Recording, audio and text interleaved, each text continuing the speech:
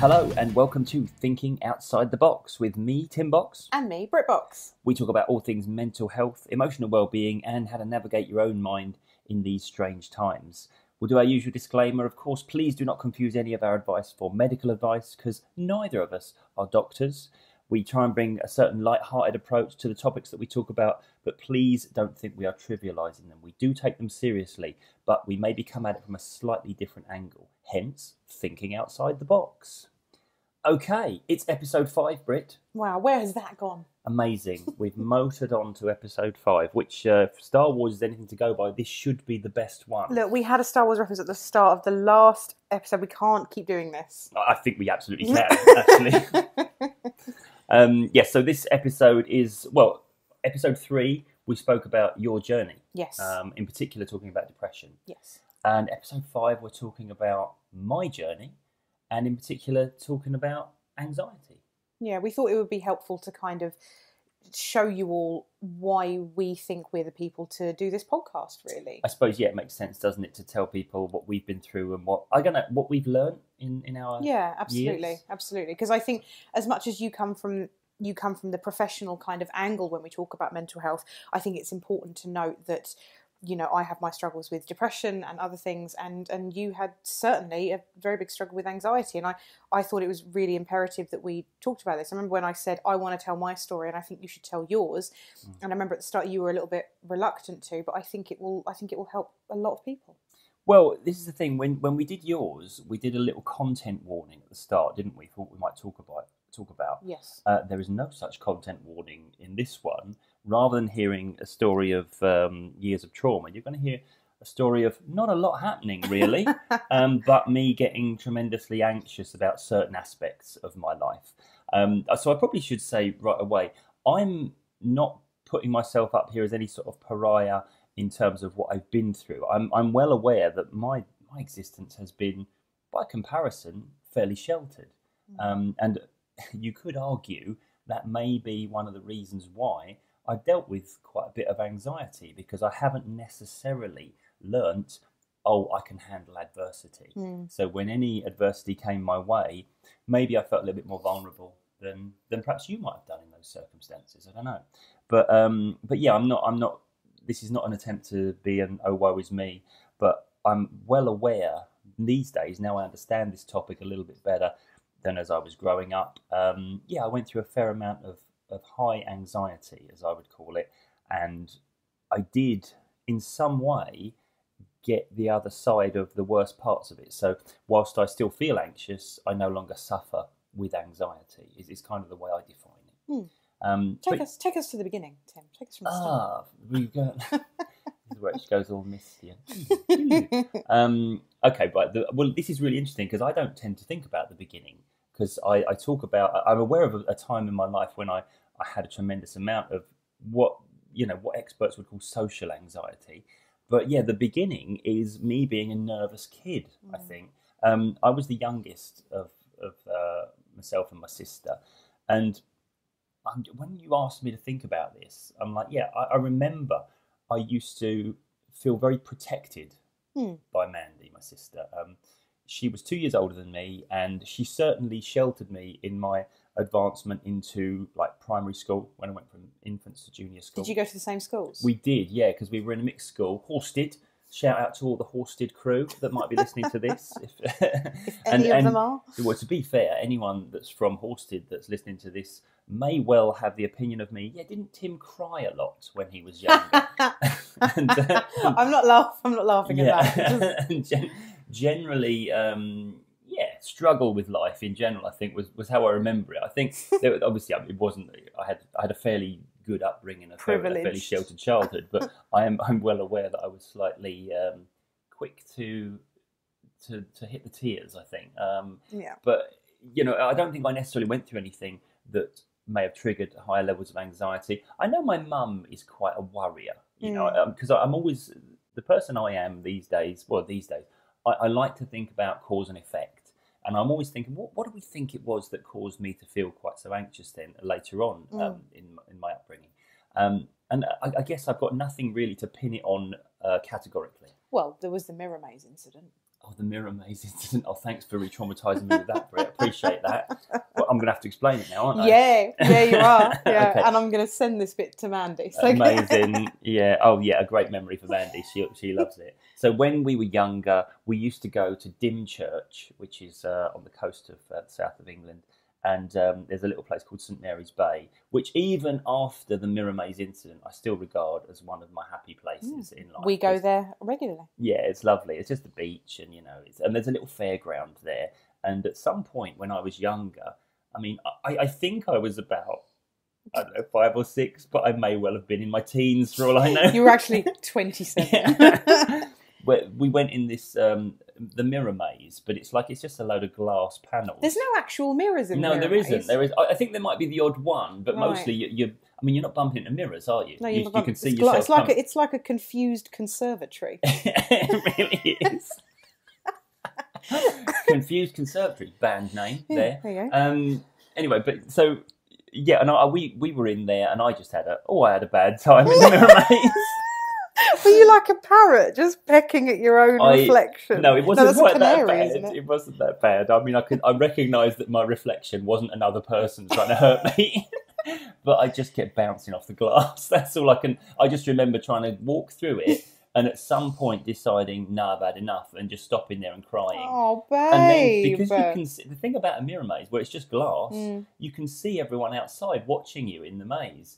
Um, and they they were finding it quite amusing. this little boy bouncing off the windows, and um, I don't know. I, I- don't remember them looking. and your sister left you there, if I if I remember rightly. Yeah, she buggered off. She, She was left gone. you, she yeah. was gone. She was. She did come back for me though, but I think it was only because Mum and Dad said, "Oh, go and get your brother. He'll never get out of there on his own." And, um, and then we did a mirror maze, and I left you in there. yeah, just to. I mean, I don't know. I don't know whether this is something you want our listeners to hear because it makes you sound quite callous. oh, and, I'm uh, fine. I'm fine. but anyway, yeah. So anyway, I, I burst it. I cried. It traumatized me. I say it traumatized me. I mean, it was. Uh, it took me a while to pluck up the courage to go back in, but I was. it was. You know why? What gave me the courage to go back in all those years later was because I had you by my side, and I knew you wouldn't just run off. Oh no! Wait a minute. There you did. And left me. anyway, anyway, is this actually where we're starting with my anxiety story? Yes. Is the mirror maze? The mirror at, at St Mary's Bay in Dymchurch. absolutely.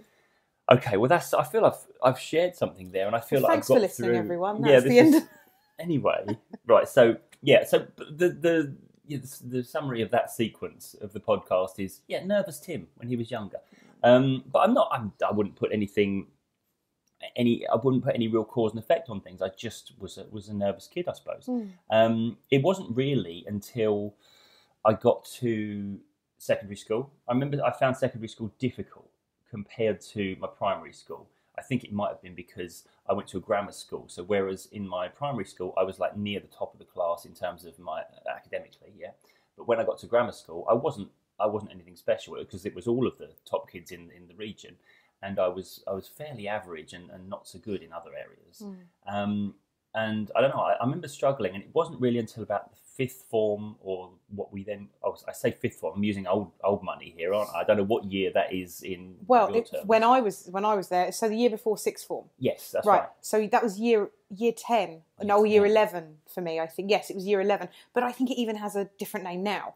Oh God. I think year eleven is obsolete. So Okay. Oh, anyway, I feel so old. I, me too. you. It's all right. So so before you were allowed to wear your own clothes, yeah, pretty much. a year before you were allowed That's- to wear your own it. clothes. Before we got a different. No, at my school you weren't allowed to wear your own clothes. Oh. You just got a different tie. oh, okay. Well, the year before your different tie. Yeah, you've been from a different tie. That was when it kind of started, and in the sixth form, there it was basically that time when you go from being a teenager to being an adult. I suppose that Young that sort adult, of time. yeah. And this all continued. The high levels of anxiety I felt, I had massive social anxiety, and I just felt like I didn't fit in at all. Mm. And I, I, I don't know. Around that time, you know, you have your social circle, your friends, your people that you hang out with Yeah. and I was doing. I kept. I seemingly kept transitioning between social circles. Like I couldn't quite find the place I wanted to be. Mm. I think I really wanted to be like one of the cool alternative kids, but never really graduated beyond the lot that played Dungeons and Dragons. If you know what I mean. Hey, they're So- the cool kids in my opinion. Well, I think retrospectively, thanks to Stranger Things, Mm. yeah, we were the. But I did. We didn't know that then that we were the cool kids. No. Um, but so there was, and there was just a lot of anxiety about going into social situations, going Mm. into a room of people, and it all culminated with um, what happened was I think it was lower sixth or or, or late fifth form. Um, we were starting to discover music, and I was starting to play guitar a little bit, and I really liked the idea of being in a band. And the people who were in my year found that idea hilarious. You know, it was, Oh, don't like- don't don't get me started with this. I mean, we like we said with with Yeah. with my story that I went to theatre school and I was a singer as a kid. It just seems to be if you have anything Mm. that makes you shine, other kids try and drag you down. And as my mum would say, it was just jealousy. Well, this is well, I don't know. I don't know. I, I can't even look at it in that way because Mm. it was just I was aware that, and this felt very familiar to me. An attempt to do something different, or to even just to fit in with the people that were doing that. You know, that was the group that I wanted to be part of, and just getting ridiculed for it.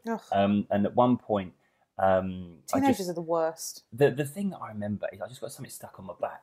Yeah. Somebody, one of my the person I consider one of my best friends actually at the time, Mm. stuck something on my back, and I just ended up walking around two lessons. I walked from lesson to there, lesson to there. I was at the front of the class for both of them. Everyone laughing at me behind my back. I didn't realise until we got out in the corridor, like for Oh. break or lunch or whatever it was.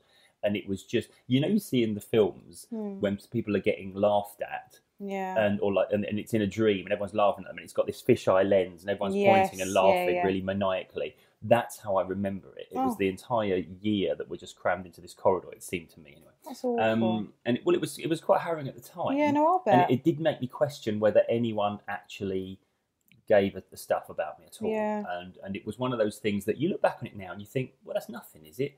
But it seemed like it at the time. no, yeah? it doesn't seem nothing to me. Yeah, you- this is I can tell you're doing the you love me kind of caring thing, but at the, at the time I, I feel I know people have been through shit.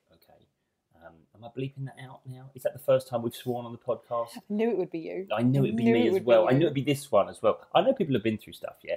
And I'm not saying, oh, this was so, this was a really heavy thing. But Mm. what I am saying, all of this stuff, it, it kind of bit by bit by bit by bit Yeah. added up to me feeling incredibly uncomfortable Yeah. around people. Well, things are relative, like we've said Yeah. before. Well, the funny thing is, like, if I probably, I think, what? How old am I now? Pro- uh, probably, I think for the next five or six years at least, Mm. probably more like ten years. If I walked past a group of people, even a small group of people, Mm. and one of them laughed at something that they were talking about, I instinctively ran one of my hands up my back just Oh. to check there was nothing on my back. It wasn't like I wonder if you know, but it just became that Yeah. that kind of reflex action, and and it was one of the so it kind of stayed with me that experience. Um, and then I, and I could give you loads of experiences then of going into situations, events where I had to be around a lot of people, and it just became to the point where it was it was quite debilitating at times. The the thought of how am I going to deal with this particular social situation? Mm. And the funny thing was, I didn't necessarily think there was anything wrong with me. Yeah, I wasn't thinking, oh no, this is I, I'm I'm ill or anything. I just thought I was rubbish. You know, I thought I can't handle what other people can handle easily. Mm. So it wasn't like I'd ever frame myself as, oh, I have anxiety now. Mm. Because I got to be honest with you, I didn't really start to understand the term anxiety until I started to study, you know, therapy and stuff like that, and, and, and actually study the mind. Mm. The word anxiety wasn't necessarily in my vocabulary at this time. It could be argued as well that that's because this was the 80s. Yeah, this is I think different times. Yeah, and I yeah. don't. You know, if you went to the doctor with what we would recognise as anxiety now, they would say nerves or worrying Yes, or stress or yeah. things like that. They wouldn't be using that that those terminologies. So I think yeah, that's probably one of the reasons why I wasn't actually. You know, I wouldn't just say oh I have anxiety or something like that. But um, I just I was just aware that I thought, even though I feel it and I don't think other people do in the same way, I don't think that's because I'm ill. I think that's because I'm just not very good. I'm just I'm just useless at handling these situations, which I'll come back to in a in a minute. But I think that was a good thing. Okay. I, I don't. Ne- I think that was good that I didn't. That I was. I just judged myself, if you know what I mean. Yeah. But I'll come back to that. Um, so late around this time, I say I was getting into music. I wanted to be in a band, and it's this really weird thing where I was really looking forward to standing up in front of everyone and performing, but that's because I was just thrashing a guitar with lots of noise. Mm. Yeah, it was. I wasn't a cultured musician. I should say that now. And in fact, I wouldn't call myself a musician. I knew some chords and um, I could shout a bit over the top of it. Yeah, but as soon as the music stops, I would not speak into the microphone. Do you know what I mean? I, I Mm. was so I would. People would say, "Oh, you were you were really confident because you were in a band." Mm. No, no, not at all. And it's funny how many people I've been in bands with over the years who are tremendously socially anxious. Did you find, in a way, that it was almost like taking on a different persona? Yeah. Because I know that's what a lot of people who are in bands or who play instruments or who perform, uh, who maybe weren't as confident, they saw it as, you know, when I'm this person, it's Mm. easier than when I'm just plain old me. Yeah, I, I- I think you're absolutely right there. Certainly, the later years of me being in a band, I was very aware it wasn't it wasn't me when I'm on stage, or certain, Yeah. or it was maybe the me that I thought I could be. If Hmm. you know what I mean, it wasn't. But the funny thing was, I remember that first the first gig I ever did was a school gig as well, which was really I felt so much pressure because we were meant to perform. That I suddenly was gripped with that dawning realization. Oh, hang on, I've got to stand up in front of all these people that bully me Yeah. and then perform. Yeah. and it felt i mean i, I was absolutely adamant i'm not going to do it. Because we were it's this really weird situation. We were on third out of four bands and i watched the first band go i was backstage with the first band and they walked on stage and i suddenly became absolutely um, irrefutably aware i can't do that. Oh, so because as they walked out i was just aware I, if that was me now i wouldn't be able to go out there right. and so I was having this sort of existential crisis as the other bands were playing, and it was just it was fortunate. But you know when you think about one of those moments where you learn something Mm. and it changes the way you look at something, right? I had one of those moments, fortunately, because I was in the audience for the second band, and the drummer of the second band was uh, really close mate. Funnily enough, he was also the guitarist in my band, so he's he Oh, was one the- okay. yeah, he's most talented guy. Um, a good friend Michael Daryl, amazing, amazing guy. I haven't seen him in years actually. I'd love to catch up with him. Anyway, um, and and he he was drumming for the for the band before us. Hmm. And there's a bit in the song. It was actually um, "Groove Is in the Heart" by D uh, Deee-Lite. yes. That was the song they were covering. And there's a bit where the drums stop and then they start again. And he stopped the drums and he stood up and sort of ho- held his arms in the air. And I suddenly thought, hang on, he's really enjoying himself. He's having fun. and I, I was like, that's a strange idea, isn't it? And then I suddenly was open to the concept that maybe this would be fun and enjoyable. Yeah. And, and that I sort of ran with that, and that's what to feel the do it. nerves as excitement. Yeah, well, exactly. It's that thing, isn't it, where you excitement and fear feel viscerally very similar, Mm. and and that's why you know when I don't know if we think we're being followed, that feeling is terror. If Mm. we're I don't know queuing up for a roller coaster, Mm. it's excitement. You know, it's it's that what's the what's the context here? So I think I'll tell you that when we're queuing up next for Tower of Terror, and you're telling me how much you don't want to do it. no, that is terror. That is, that is, that is, fear. yeah, that is knowing I'm not going to have a good time. Um, but no, so that sort of thing, and it was just I don't know, just you get to reframe something. Yeah. But I digress anyway. But even even then, you know, there was there was loads of things that were going on. So two two more instances that I remember social anxiety just rearing up. Mm. One of them was the first hypnosis training I ever went on. It was a weekend course. Just bef- before we met, isn't it? Bef- yeah, long Yeah. before we met. Yeah, and and I remember um, we it was in a hotel in uh, up by the by Heathrow Airport, and my room coincidentally was within eye line of the little reception area where we were all meeting for coffees, and I kept poking my head out of the room, and I could see there were still people there having a coffee, chatting. And I put my head back in. And I kept poking my head out, and like, still people were there. And it wasn't until there was nobody there Mm. and I could just walk up to the desk and pick my badge up and walk in and just join the, the, the seated people listening to the lectures and stuff. Only then did I actually go down there and um, and actually do that. And and it just it became I became very aware that oh yeah that's what I do isn't it? I just avoid these situations. Mm. And it's funny these days I talk to people about how much energy we put into avoiding the challenging situations rather than putting the energy into overcoming what we feel is challenging about them. Yes. Yeah, and I was just doing that. I, I was just kind of avoiding situations. And um, the second one was, you know, that, that springs to mind as I, as I tell this story kind of thing, was my first time networking. And, and this wasn't long before we met. This is when I was in my 30s. Yeah. You know, mid 30s, I think. Um, Hang on. Networking is also just people standing around talking with coffee. Is it maybe just the open networking aspect?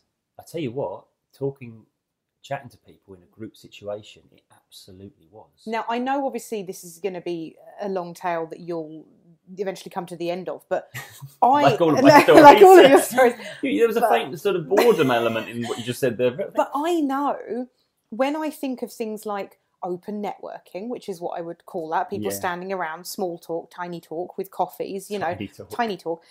I, in my head, I hate it. And you are so much better at it than me.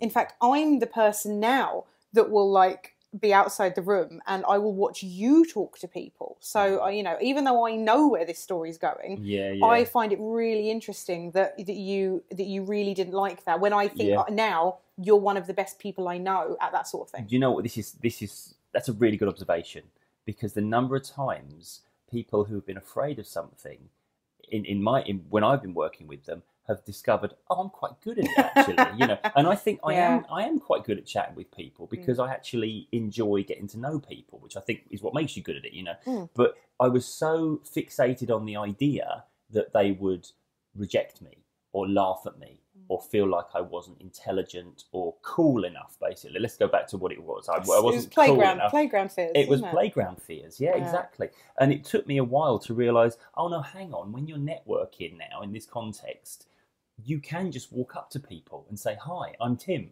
What do you Also, do? Because everyone is feeling the same way. We all just Yeah. hide it in varying degrees. Yeah, yeah. But this is the thing. If I if I did what I would normally do, Mm. which was go go somewhere and, and get go to the coffee machine and, and sort of look really intently at my coffee, or you know, I would I would think I would you know I don't know. You you look at your phone now, don't you? You By the way, if you want to find the socially anxious person in the room, Yes. it's the person who's leaning against the wall, checking their phone and looking at it as if something really important's just come in. I Because then people won't come up to them and disturb them. genuinely, I've done this, and I spent ten minutes, and I'm not even exaggerating, looking at the calculator because I, I had no internet signal, so I couldn't scroll anything. I couldn't do anything. I just added up numbers on the I, calculator. yeah, I got very good at, at feigning really intense interest in things that were either not happening at all Yeah. or really weren't that interesting. Or I'd, I'd suddenly think, oh, I've got to go and do that thing at the, with my car. Go and check that. If I left that in the car, Yeah. it's like, what? What are you going for? Don't don't question me, please, because I haven't thought of that far through. You know, and and things like that. And it's Mm. just, I don't know. It just, I think, I think what it was, like you say, it was playground stuff. yeah. It was me thinking they're going to realise I'm not that cool Mm, and then they're going to either kick me out or laugh at me and yeah. all of those old experiences you know. Judgment. yeah Judgment. judgment fear of judgment and uh, that was what drove it for me and Mm. um, i don't know that that's kind of I, I lived with that long enough for it to be just as far as i was concerned that's just how i am Mm, and it wasn't necessarily something that i started to recognize i could change until i started changing it yeah. you know and, and again you talk about um, you talk about a moment where I- have a couple of moments in my my kind of development that I remember thinking, huh, that's interesting. That actually challenges my perception of who I am in a good way. Mm. So the first one was when um, I was younger, and my mum and dad used to throw an annual fireworks party that used to be notoriously dangerous.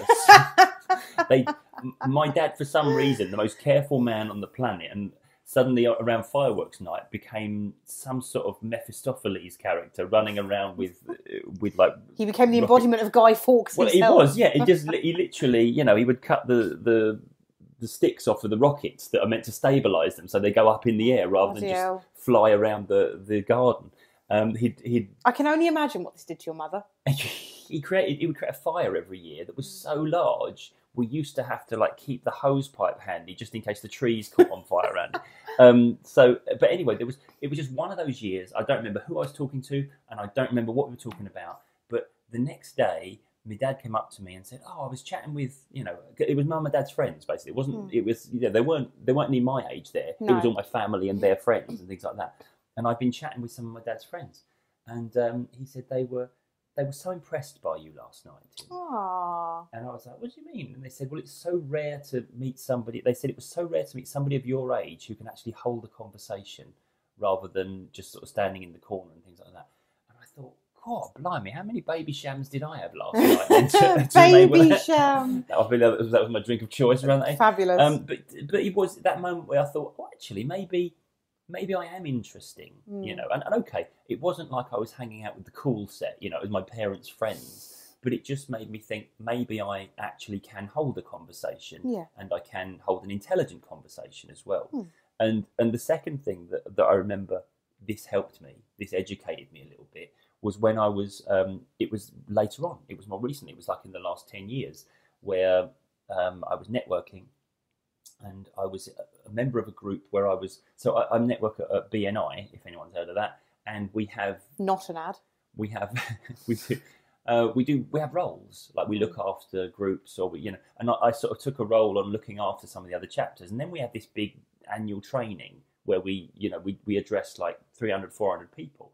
Um, and because when we're networking we do a 60 second presentation all of us every single person in the room says this is my business this is the referrals i'm looking for Mm. and so i've been doing that for for a fair amount of time funnily enough that didn't scare me quite as much as ch- talking to people did Well, I think that's because what I, uh, the thing I would recognise about that is you have 60 seconds to talk. Yeah. No one's replying to you, no one's challenging you, which is why on days when I don't want to talk to anyone, I'm Yeah. happy to do my Instagram stories because yeah. it's just me projecting. And I feel that's what 60 seconds is. Yeah, I, I get what you're saying. Actually, funny enough, though, I remember the first one I did, and um, there's me as a hypnotherapist standing up. I can help you with self-esteem and confidence, and and I, you know, I was doing that. Was thing. this before, before your voice dropped? Yeah, but yeah. Um, well, to be fair, this is how I remember it though. 'Cause you know when you do that thing of um, when you yeah, that yeah. sort of breathing thing. Yeah, I was doing that, and I could feel my voice wobbling. That's that's I mean, and um, anyway, yeah, but that's it. But so the, the story I'm telling though was was when um, this was like this was a year or two into my networking, so I was kind of happy to do. I would still sit down, and my hands would be shaking. Yeah, I was still aware of that, and I was still wondering if I'll ever get over that. Little did I know then that's simply an, an adrenaline reaction. You know, you Hmm. fill with adrenaline to do something important, and then you it's tr- adrenaline's trying to get you to run around the room or do something of action. Yeah. When you don't, you shake because you're Mm. simple as that. So it didn't, it doesn't bother me now, you know. Mm. But the lady, um, good friend of mine, Jill Russell, spoke to her the other day. Awesome lady. She was in charge of all of us, and she said, "Right, this next the bit here is a really important bit of presenting." So I need I need my top presenter doing this bit. Tim, are you okay to do this? Mhm. And I was like looking around, what me? And, and you know when you like somebody and then another guy called Tim was like, no, yeah, that's me. it. No, honestly, it was that moment where you think, oh, somebody believes in me more than I believe in me. And you either take that and you reject it, Mm. or you take it and you say, okay, maybe I'll I'll take their word for this then. That they, they want me to do this, not because they're pandering to the anxious person in the room, but maybe because they believe that I'd be the best person to do the job. Mm. And so things like that, yeah. And and this is the thing. I guess I'm trying to move it on to what did I do to change things? Yeah. Yeah, because it, it's one thing saying I experienced this, but I had somebody ask me the other day. So did you use hypnosis to get? Because for those of you that don't know, remedial hypnotism, hypnotherapy, if you like, that's what I do. Mm. Um, and no, I didn't, because I'm one of those people that that don't. I was not a great responder to hypnosis. I'm perfectly good hypnotizing people, but I'm not a great responder to it. Mm. Um, but I did change and I did get the other side of that phase of my life. And like I said at the start, I might feel anxious at times. It's not because I'm broken, it's because I'm human, Mm. but I don't suffer with anxiety. And as I was saying, the big thing that enabled me to change, I was never diagnosed with anxiety. Yeah. So I never walked around with the framework that I just have anxiety now Mm. and it wasn't as if there was anything that I felt was broken or malfunctioning about me. Um, and so it enabled me to do what hopefully we should be able to do, which is learn and grow and become better with experience, if that Yeah. makes sense. So, so there wasn't any diagnosis that was locking me into the way I felt. Mm. I think that was that was a big deal for me, um, and and I think that enabled me to to make some change, which is why I'm often talking about the often negative aspects of being told you have anxiety now you know Mm. it's like you go you go to a doctor because you're feeling viscerally you know really quite dodgy in these situations and the doctor will do all those medical tests Mm. and he'll check for a medical problem and then if because anxiety is a diagnosis of exclusion you know when we rule everything out then oh this must be an anxiety response Yeah. and then, of course, we, we sometimes can make the mistake of thinking, I've been diagnosed with anxiety, Yeah. rather than the doctor's given me the all clear and just let me know that, right, I need to sort the emotional conflict out. I, Yeah. need, to, I need to sort the subconscious confusion out rather than there's any medical problem I need to concern myself with. Because you do hear people saying, I want to get rid of my anxiety. But obviously, anxiety is an emotion that we all need, isn't it? Well, exactly. I, I hear that all the time. But if, if you didn't feel anxious, you would be the one person on the planet that doesn't feel anxious on a Mm. daily basis. This is a, a human response. Every emotion serves a purpose. Yeah. And you know, I, I talk about this on, on my TED talk, which you know, which I, I went on to do at a later stage in my life. You know, it's like there's every emotion has has a purpose in terms of steering us towards ultimately some form of happiness in Yeah. some way. So if we feel fear, it's because we perceive there to be something dangerous up ahead, and Yeah. so that discomfort that we feel encourages us to move away from the thing that's causing it. So Mm. we we stay safe, kind of thing. If um, if somebody wrongs us, we might uh, get angry, and it's it's a bit of our mind saying, "I'm going to give you the emotional response now that will encourage you to right the wrong." Mm. Okay, so an anxiety is no different than any other emotion. It's no more sinister. It's no more negative in its intent. In fact, it's got positive intent. Anxiety is a bit of your mind saying, "Pay attention to this important thing," Mm. and that's why it can be so persistent and insistent. Is that your a bit of your mind says, "This is the most important thing right now. I need you to focus on it." What would you say, though, to people who would have it in excess? So being anxious is the only thing they can think about.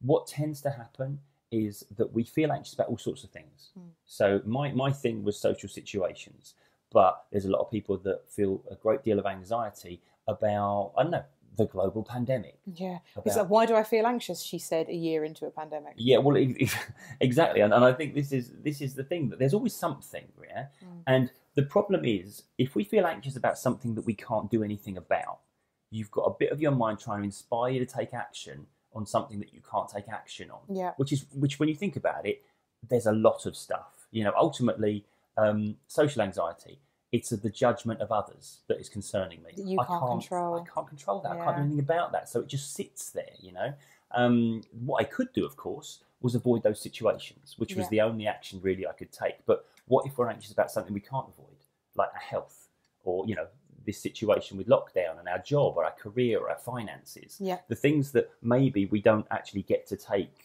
action on immediately. Mm. There's always that thing where, because after all, things like finances and career, they can be ongoing, can't they? They don't just easily get changed. Yes. So what happens then? You've got a bit of you trying to get you to take action on something where you can't actually answer that call directly. Mm. Sometimes it will start to. It will feel like it has to shout louder at you to be heard. So you said that that not being diagnosed was one of the things that you found helped you. How Mm. how did you get from not wanting to to go walk into a room where people were open networking to being able to stand on stage and give a TED talk?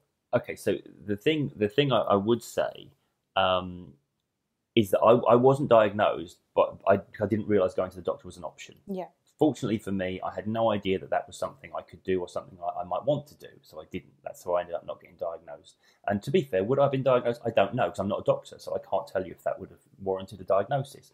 But where I, how I got from where I was to where I am now, I think there's a bit of me that is quite quite the critical thinker. And what I mean by that is I studied philosophy at university, and philosophy teaches you, you know, t- it teaches you some good things to talk about in the pub to make people think you're interesting, but also it teaches you not to make assumptions. And so I thought, right, hang on then, what am I anxious about? Yeah, I started to what's the and, and if I assume that it's not because I'm broken that I'm anxious, it's because my mind is, is having excessive concern about something that I don't think is warranted. Yeah. So my whole thing was judgment of others. Mm. Okay. Now, there was a time when the judgment of others was legitimately and justifiably the most important concern for me because I was at school. Yeah. Yeah, when we're at school, we get put in a room with what, 25, 30 people. And they say, right, you're going to be with these people now for the next few years. So probably best you find your allies and work out who your enemies are. Absolutely. This is this is one of the reasons why I think that you know just to just a slight slight off topic that mm.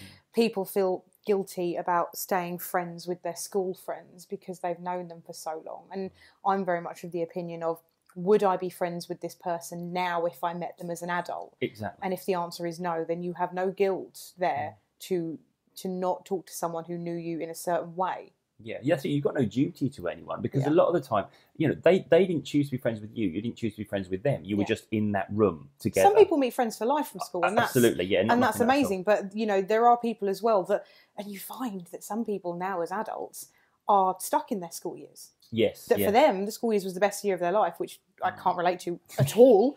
Um, and so and so they they're stuck in that. So you know they they are that way. Whereas I I I very seldom I don't speak to pretty much nearly anyone. I maybe a handful of people that I went to school with that I Yeah. consider to be actual friends. And in fact, one of my close friends I went to school with, but we weren't close at school.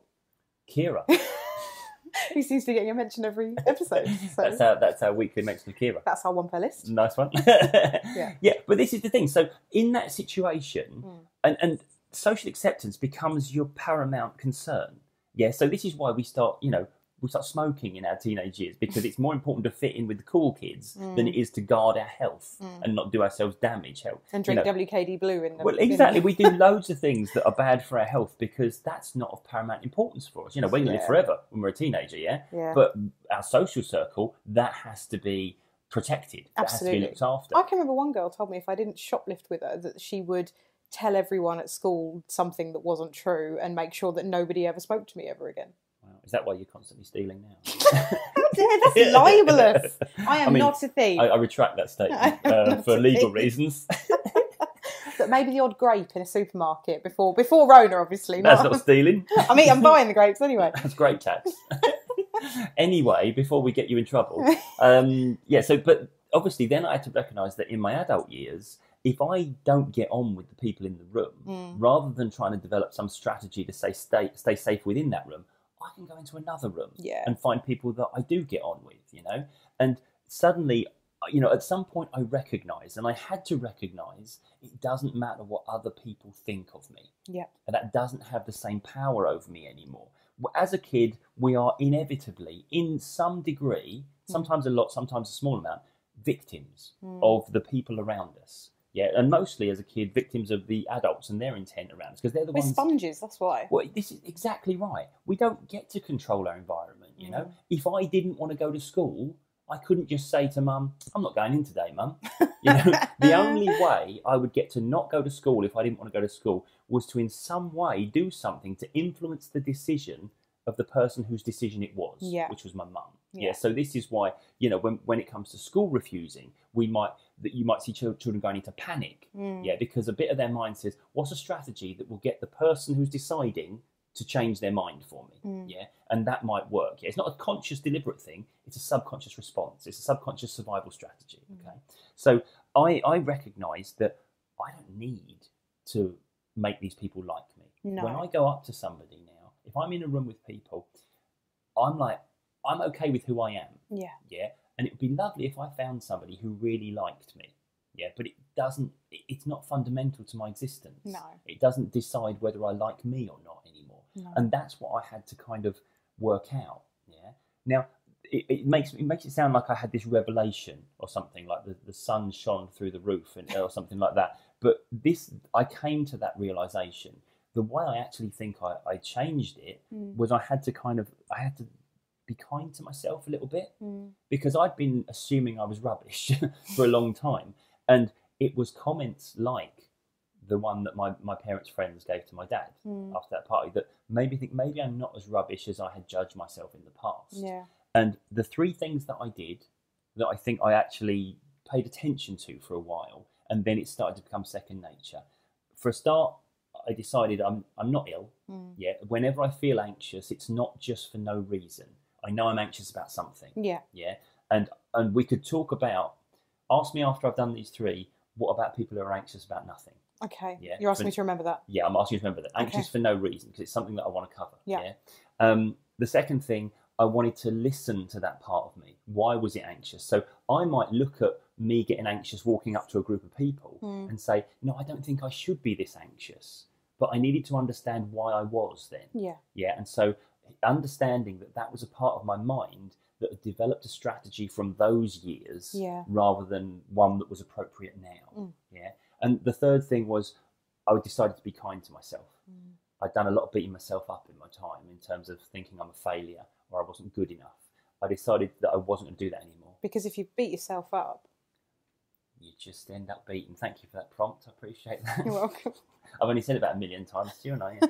um, that I should have that T-shirt. To be fair, Oh. if that was. Uh, But Tim, what about people who are anxious for no reason? I'm sure. I'm so glad you've asked me that because that I feel. To be fair, that is what a lot of people say Yeah. when they. If you if you look at the comments on my, my TED talk, a lot of them are, "But what if we're anxious for no? What if we can't work out why we're anxious?" Mm. In my experience, in the sort of 10, 11 years I've been working with people to help them with their anxiety, the, if we find ourselves anxious for no obvious reason, it tends to mean we've now become anxious about how anxious we are. Yeah, and you start then waking up doing a little progress report, and it's like, do I feel anxious? It reminds me of that scene in the thick of it when someone's got to do something, and I can't remember what it is. And then I think it might be Malcolm Tucker. He turns around, and he says, "How are you feeling? Anxious, nervous, worried?" And then Yeah. Ollie's like, "Well, I'm sure she was fine before you said anxious, nervous, worried." Yeah. And it, it reminds me of that. It reminds me of that. Exactly. Well, this is the thing. We when when anxiety is the thing that we're most concerned about, we wake up and we do the little self audit, don't we? How Yeah. anxious do I feel today? That's a really anxious thing to do. Yeah. I've been there. Yeah. I It's- know that it's- I've, I've been guilty of that as well, but with you know, with maybe framing it slightly more with with depression. If I had a bad day, I wake up the following day, and the first thing I think is, how do I feel? Do I feel bad? Do I Yeah. feel bad again? Am I having a bad day? yeah, Rather than just, yeah. why don't I just get up and see how I feel? You go looking for the feeling. Yeah. You go looking for it, you'll find it. yeah. Absolutely. It's like that that microscope where you put a speck of dust under it and you zoom in enough, it looks like a monster. Yeah. and and that's what happens. Yeah, it's I don't know it, it, the the whole feeling anxious about feeling anxious. It's a real response. I used to run anxiety workshops, which if if anyone in the profession thinking of doing it, don't bother. People don't turn up. They're too anxious. Yeah, I I learned that the hard way. Yeah, because what I would end up with Mm. are texts or emails from people saying, "So sorry, I'm not going to make it in today, Tim. Wouldn't you know it? My anxiety has flared up again." yeah, yeah. as if it's like a rash, as if it's like something that unexpectedly landed on me that day. Yeah, When when you think about it, I'm going to see this man I've never met before to sit in a group of people who are all feeling incredibly anxious, who I've never met before, I mean, and it- talk about my anxiety. it doesn't sound like a welcoming environment. I'm surprised you did any of them. It, it doesn't sound like a fun environment, does it? It sounds like the sort of thing that might cause you to feel anxious, Yeah. in fact. But then, of course, if anxiety, if feeling anxious has simply become an indicator of your illness, then you will now feel like I'm having an ill day. Yeah, I'm having a, a bad day with my anxiety, so I better not go to that anxiety workshop. Mm. I, th- I would, I always said to people that did make it in, that's amazing that you've got here. Well Mm. done. That's the first. You know, you've done the hardest. the part. hardest part is showing up. Exactly. Yeah, Isn't yeah. that always the way? And it's it so is with anxiety as well. Putting yourself in the situation that terrifies you Mm. is is the hardest thing to do Mm. because you do get to realise when you're there, it wasn't as bad as I thought it was going to be. I remember somebody that came to one of these things, and and I remember her now. She was in the corner, and I, I recognised myself in her. She was so kind of in in the breaks. She was kind of you know hiding away Yeah, and throughout the the course of the the actual session we were running she started to engage she started to put her hand ask questions things like that and it was when i was with you a couple of years later and this was now about four or five years ago Mm. and she came up to me when we were in the pub in rochester right. and said you don't remember me do you and i was like i think i do but i'm not sure and she said you did i was so and so on this work and i remembered her when she prompted me and she said, "Thanks to that, I'm out here now with my friends." Hmm. You know, and, and it's that moment where you realise, actually, I can do this stuff. mm. It wasn't, you know, the the feeling anxious wasn't the monster that I thought it was. You're made of stronger stuff. Yeah, and we just you've got to find that out sometimes, haven't you? Mm. You know, and, and I guess this is this is the thing that I, I want to talk to people about with anxiety, and and I appreciate I'm kind of more telling my story than actually doing a whole you know full sweep of anxiety now because it is a, is a deep topic to go into. But the thing that I want people to know is that feeling anxious that that means you're human. Yeah. It doesn't mean you're ill. And if you if you're one of these people that have unfortunately been diagnosed with an anxiety disorder, please remember what disorder actually means. It means a state of confusion. All that means is there is a state of confusion in your subconscious right now. Your, your mind is confused about what the appropriate emotional response would be. Mm. Not consciously. Yeah, consciously you know this surely I shouldn't feel this way Yeah. it's subconsciously. It's the bit that's in charge of your emotional responses. You're consciously just aware of how you feel. That's it. You're not necessarily controlling it or, or steering it. That part of you that creates that that feeling is confused right now. Mm. based on things that you've learned, based on stuff you've been through, based on stuff you've been told by people that you thought knew the, the score. Yeah. Mm. So if we feel anxious, you know, I say this in my TED talk. The only two people that don't feel anxious, dead people and psychopaths. Yeah. if you feel anxious, it means you're alive and there's a bit of you that cares enough about you to want to keep you safe Yeah. and want to steer you towards happiness. Yeah. Um, and- Also, we we touched on this last week, but but don't underestimate the power that that feeling tired and getting enough rest can can be. I know personally when I start to feel anxious about things, it's it's normally as well when I'm at a lower ebb, when Yes. I'm when I'm a bit more run down as well. Well, there's a bit of you that looks at the challenge ahead of you Mm. and says, "Yeah, I might have done that before, or maybe I haven't, but I don't feel great right now." Yeah, The the the version of me that's taking this on. We've got to remember we don't feel anxious about the thing. We Mm. feel anxious about our perceived ability to deal with the thing. yeah, Okay, and that so it always comes down to our self-assessment at times, and, and I think that's important to remember as well. Um, and here's the thing as well: the thing that probably is worth saying, just as a little kind of finishing thought, is that we are, well, the phrase "living on an anxious planet" springs to mind yeah, because it's the thing I deal with most. Not just because obviously my story means that I see more people to deal with anxiety. You know, I've written a book on it, I did a TED talk on it. But the reason I'm seeing mostly people for anxiety is because it's the biggest issue right now. Mm. Even before I would I put my story out there, more than half the people I was seeing in my practice were anxiety clients. Mm. Yeah. When when I was starting out 10 12 years ago, I didn't see anyone for anxiety Mm. they might be dealing with issues that we would now call and refer to as, oh, that's anxiety issue. But nobody sat down in that chair and said, can you help me with anxiety? no, Now, more than 50%. And to be fair, now that the talk's out there and everything, more than 75%. Yeah. And there is an argument put forward for this that is, we haven't yet quite evolved to deal with the evolution of our technology. Yeah, so I recently read something or listened to a podcast. I can't remember what it was, but it was basically along the lines of our brains are still pretty much hardwired exactly the same as they were around Henry VIII's time. you know, even even before that, we haven't actually hmm. evolved in the brain that far. Well, we can't. This is evolution doesn't happen that quickly. No. Technology, mind. Speeds ahead. Yes. It would be literally like sitting Anne Boleyn down in front of a TV and trying to explain to her what is going on. you know, it, it, she wouldn't be able to, to cope with it. Just because we've had these things most of our lives, Mm. don't take for granted how different they are to our actual nature.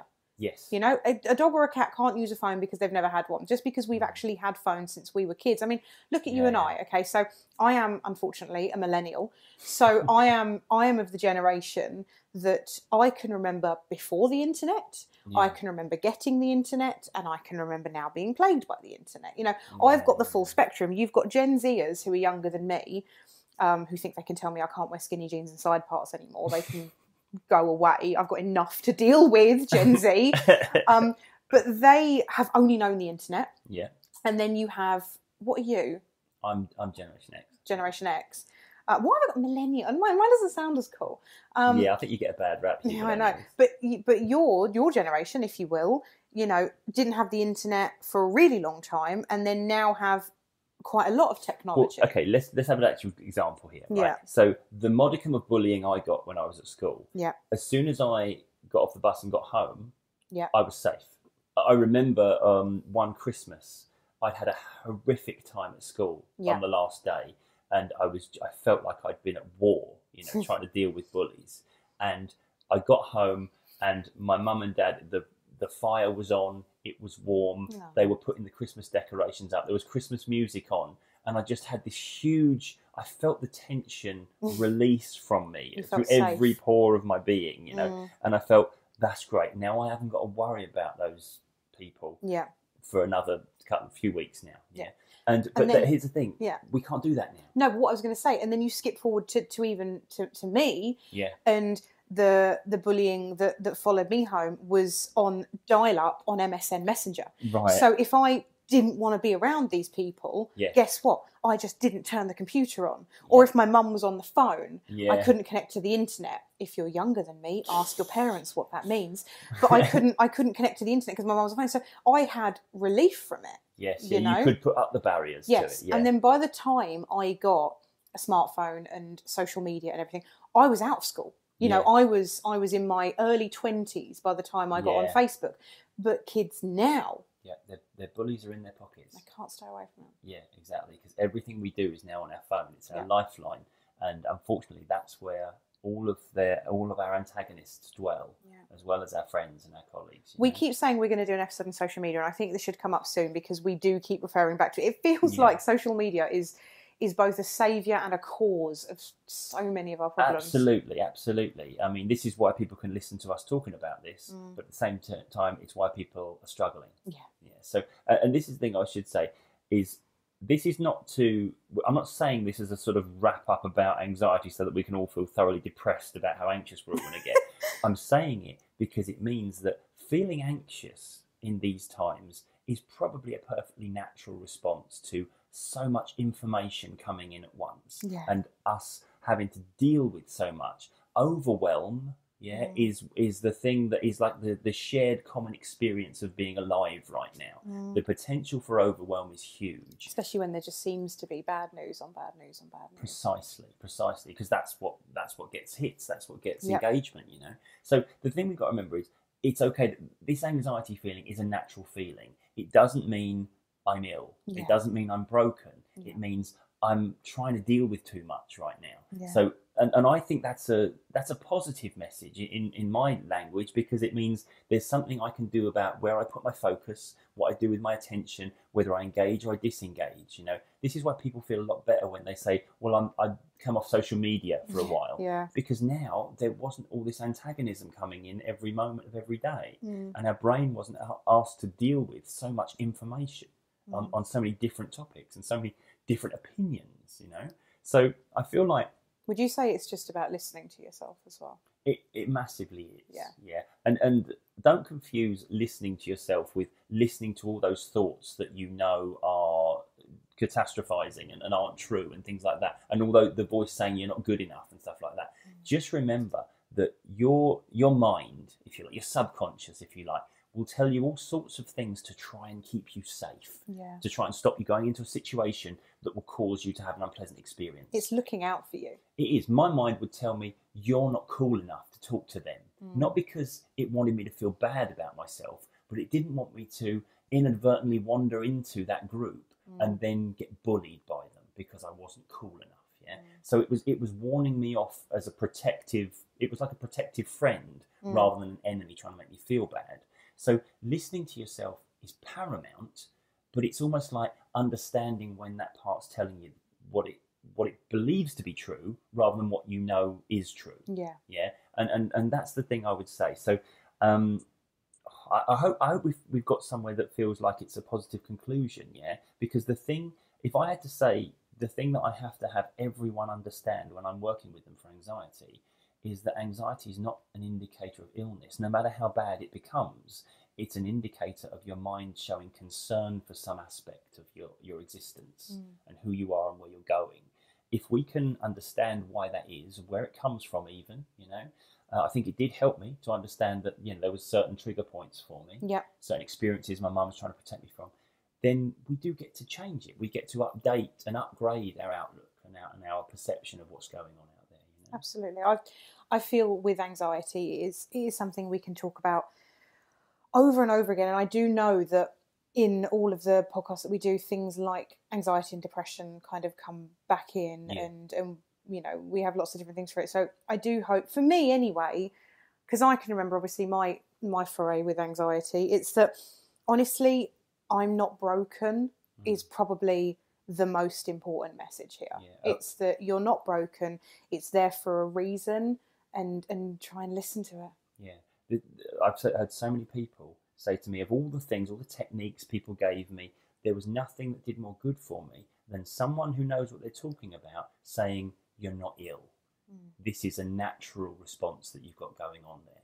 Yeah. And um, and I guess I guess that for me is the light at the end of the tunnel is realizing that there are things I can do to change the way I feel. And if I put my focus on me rather than outside all the things I can't control, then I've got a good chance of doing something about it. Yeah. And feeling differently, maybe. You know? Oh, I think that is a lovely message to leave people with. Well, thank you, Tim, for telling your story. I know you were a bit hesitant to do it, but I'm I'm really really glad you did, and I think that it's something that people will get a lot from who have maybe felt in the same position or in the past or currently do. So Yeah, well, I hope it, I hope it's been of help to people. Anyone that wants to do a bit of a deeper dive into this sort of stuff, they can pick up my book, which is called Clear Your Head, um, and they can look at my TEDx talk, which is titled "How to Stop Feeling Anxious About Anxiety." yes. And those two sort, those two uh, resources may may give you a bit more detail of, of the way I think about it, Yeah, I'd recommend my book, but it's about how to start a cake business. So which is just as good, if if slightly unrelated. I just wanted to plug my book. I suppose. Thank you very much for listening, guys. Um, as Thanks, guys. always, if you have enjoyed this, please do come tag us on social media. You can find me on Instagram at Britt Marie Box. You can find Tim on Instagram at Tim Box Mind Coach, and you can also find his YouTube Tim Box Mind Coach as well. I believe. Beautiful. You're getting very slick at the social media shout outs at the end. Thank you very much. So again, thanks for listening, guys. Make sure to do something nice for you today, um, and until next time, we will see you later. Keep thinking outside the box. Bye. Bye.